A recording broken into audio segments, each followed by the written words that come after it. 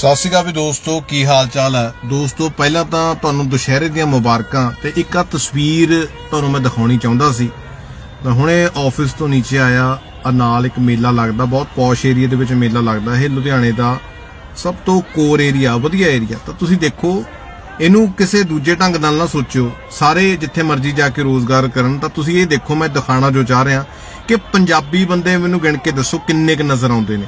ਇਹ ਐਂ ਤੁਹਾਨੂੰ ਲੱਗੂਗਾ ਕਿ ਜਿਵੇਂ ਆਪਾਂ ਕਿਤੇ ਬਿਹਾਰ ਦੇ ਵਿੱਚ ਜਾਂ ਕਿਤੇ ਆਪਾਂ ਯੂਪੀ ਦੇ ਕਿਸੇ ਏਰੀਆ 'ਚ ਤੁਰੇ ਫਿਰਦੇ ਆ ਦੇਖੋ, ਦੁਕਾਨਦਾਰਾਂ ਤੋਂ ਲੈ ਕੇ ਕਸਟਮਰਾਂ ਤੱਕ ਸਾਰੇ ਆਪਣੇ ਪ੍ਰਵਾਸੀ ਨੇ ਇੱਥੇ। ਚਲੋ, ਇਹ ਮਿਹਨਤ ਕਰਦੇ ਨਹੀਂ ਉਹਦੇ ਵਿੱਚ ਕੋਈ ਦੋ ਰਾਏ ਨਹੀਂ ਹੈ ਔਰ ਮੈਨੂੰ ਕੋਈ ਇਹਨਾਂ ਨਾਲ ਆਪੱਤੀ ਵੀ ਨਹੀਂ ਹੈ ਪਰ ਮੈਨੂੰ ਬਹੁਤ ਇੱਕ ਦੁੱਖ ਲੱਗਦਾ ਕਿ ਮੇਲਿਆਂ ਦੀ ਇੱਕ ਤਸਵੀਰ ਹੁੰਦੀ ਸੀ, ਆਪਾਂ ਜਾਂਦੇ ਸੀ ਬਚਪਨ 'ਚ। ਮਤਲਬ ਉਹ ਇੱਕ ਅਲੱਗ ਹੀ ਨਜ਼ਾਰਾ ਹੁੰਦਾ ਸੀ। ਪਰ ਤੁਸੀਂ ਆਹ ਦੇਖੋ ਕਿ ਇੱਥੇ ਹੁਣ ਬਿਲਕੁਲ ਹੀ ਰੰਗ ਢੰਗ ਬਦਲ ਗਿਆ ਮੇਲਿਆਂ ਦਾ। ਮੈਂ ਜਦੋਂ ਨੀਚੇ ਉਤਰਿਆ ਤਾਂ ਮੈਂ ਹੈਰਾਨ ਹੀ ਰਹਿ ਗਿਆ। ਦੇਖ ਕੇ ਮੈਨੂੰ ਕੋਈ ਟਾਵਾ ਵਿਰਲਾ ਟਾਵਾ ਵਿਰਲਾ ਕੋਈ ਆਪਣਾ ਪੱਗ ਵਾਲਾ ਜਿਹੜਾ ਵੀਰ ਨਜ਼ਰ ਆਇਆ ਜਾਂ ਕੋਈ ਫੈਮਿਲੀ ਨਜ਼ਰ ਆਈ, ਸਾਰੇ ਪ੍ਰਵਾਸੀ ਨੇ। ਔਰ ਇਹ ਬਿਲਕੁਲ ਤਸਵੀਰ ਬਦਲ ਗਈ ਔਰ ਇਹ ਇੱਕ ਆਪਣੇ ਆਪ ਦੇ ਵਿੱਚ ਜੇ ਤੁਸੀਂ ਸੋਚੋ, ਤਾਂ ਇੱਕ ਵੱਡਾ ਪੱਖ ਹੈ। ਆਪਣੇ ਖੁਦਕੁਸ਼ੀਆਂ ਵੀ ਨੇ। ਆ ਦੇਖੋ, ਇਹ ਲੋਕ ਰੋਜ਼ਗਾਰ ਕਰਦੇ ਪਏ ਨੇ ਜਾਂ ਜਿੱਦਾਂ ਵੀ ਹੈ, ਆਪਣੇ ਇੱਕ ਵੱਖਰੀ ਤਸਵੀਰ ਹੈ। ਚਲੋ, ਇੱਕ ਪ੍ਰਵਾਸ ਦਾ ਵੀ ਬਹੁਤ ਜ਼ਬਰਦਸਤ ਇੱਕ ਉੱਠਿਆ ਵਾ ਕਿ ਬਾਹਰਲੇ ਮੁਲਕਾਂ ਦੇ ਵਿੱਚ ਹੁਣ ਸਾਰੇ ਜਾ ਰਹੇ ਨੇ, ਹੈਨਾ?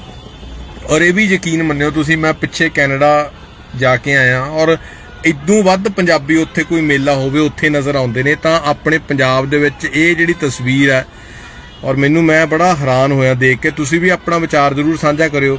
ਆ ਦੇਖੋ, ਜਿ- ਜਿਹੜੇ ਜਿਹੜੇ ਇੱਥੇ ਦੁਕਾਨਦਾਰ ਨੇ, ਉਹ ਉਹ ਵੀ ਸਾਰੇ ਦੂਜੇ ਨੇ।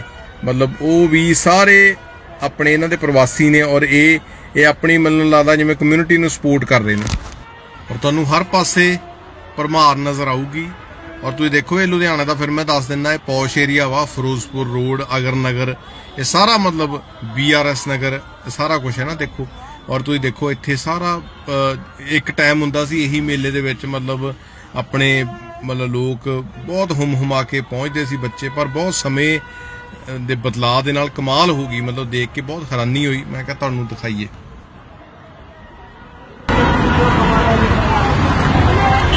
बाबा कहाँ से आए व्यापार करने हाँ जी आजम आजमगढ़ आजमगढ़ से हाँ जी अच्छा नहीं इधर इधर ਵਧੀਆ ਵਧੀਆ ਹੋ ਗਿਆ ਰੋਜ਼ਗਾਰ हाँ हाँ बढ़िया है। ਕਿੰਨੇ ਤੁਸੀਂ ਜਿੱਦਣ ਮਰਜ਼ੀ ਦੇਖ ਲਓ ਇਹ ਅੱਧਾ ਕਿਲੋਮੀਟਰ ਮੈਂ ਦੂਰ ਆ ਗਿਆ ਹੂੰਗਾ ਉਹ ਜਗ੍ਹਾ ਤੋਂ, ਤਾਂ ਤੁਸੀਂ ਇੱਥੇ ਵੀ ਦੇਖ ਲਓ, ਤੁਹਾਨੂੰ ਇੱਥੇ ਵੀ ਡਾਰਾਂ ਦੀਆਂ ਡਾਰਾਂ ਦਿਖਦੀਆਂ ਨੇ। ਮਤਲਬ ਇੰਨੀ ਭਰਮਾਰ ਹੈ ਔਰ ਇਹ ਇੱਕ ਵੱਡਾ ਕਾਰਨ ਮੈਂ ਮੰਨਦਾ ਕਿ ਆਪਣੇ ਇੱਥੋਂ ਪ੍ਰਵਾਸ ਵੀ ਹੋ ਰਿਹਾ, ਰੋਜ਼ਗਾਰ ਦੇ ਮੌਕੇ ਘੱਟ ਵੀ ਮਿਲ ਰਹੇ ਨੇ। ਹੁਣ ਮੈਨੂੰ ਨਹੀਂ ਪਤਾ ਕਿ ਤੁਸੀਂ ਇਹਨੂੰ 네ਗੇਟਿਵ 네ਗੇਟਿਵ ਲੈਨੇ ਹੋ ਪੋਜ਼ਿਟਿਵ ਲੈਨੇ ਹੋ। ਮੈਂ ਇੱਕ ਇੱਕ ਸਿਰਫ ਇੱਕ ਪੱਖ ਤੁਹਾਡੇ ਸਾਹਮਣੇ ਰੱਖਿਆ ਕਿ ਮੇਲਿਆਂ ਦੀ ਇਹ ਆਪਣੀ ਸਥਿਤੀ ਹੋਊਗੀ। ਪਿੰਡਾਂ ਦਾ ਮੈਨੂੰ ਨਹੀਂ ਪਤਾ ਜਾਂ ਹੋਰ ਸ਼ਹਿਰਾਂ ਦਾ ਨਹੀਂ ਮੈਨੂੰ ਪਤਾ। ਤੁਸੀਂ ਵੀ ਆਪਣੇ ਸ਼ਹਿਰ ਦਾ ਦੱਸੋ, ਤੁਹਾਡੇ ਸ਼ਹਿਰ ਦੇ ਵਿੱਚ ਕਿਵੇਂ ਆ?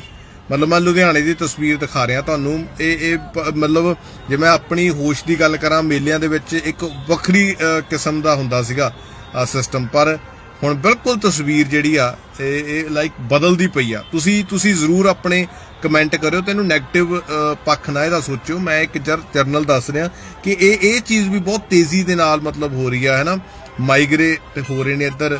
ਇਹ ਆਪਣੇ ਪ੍ਰਵਾਸੀ ਮਜ਼ਦੂਰ ਜਿਹੜੇ ਆ ਰਹੇ ਨੇ। ਚਲੋ, ਇਹ ਇਹ ਲੋਕਾਂ ਦਾ ਵੀ ਬਹੁਤ ਆ, ਕੰਮ ਇੱਥੇ ਕਰਦੇ ਨੇ।